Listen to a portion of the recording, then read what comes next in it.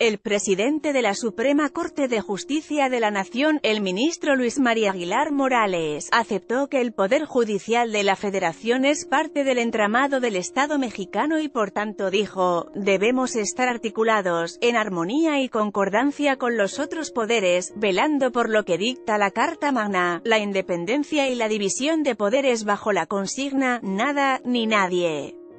Sobre la Constitución, nada ni nadie sobre la Constitución. Ante el presidente de la República, Andrés Manuel López Obrador y representantes de ambas cámaras del Congreso de la Unión, el ministro presidente dijo, somos uno de los poderes de la Unión que, como los demás, se instituye para el beneficio del pueblo, lo cual señaló no, es obstáculo para el desarrollo y la legítima transformación del país.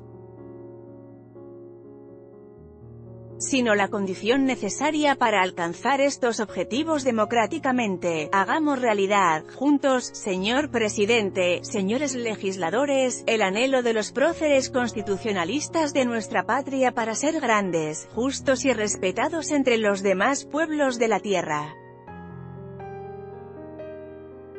Nada, ni nadie sobre la Constitución, agregó, defenderemos nuestra independencia, en medio de la polémica que generó la congelación de la Ley Federal de Remuneraciones de los Servidores Públicos, Aguilar Morales dio su último informe de labores del Estado que guarda la impartición de justicia en México, en el que refrendo el respeto y la defensa a la independencia de los juzgadores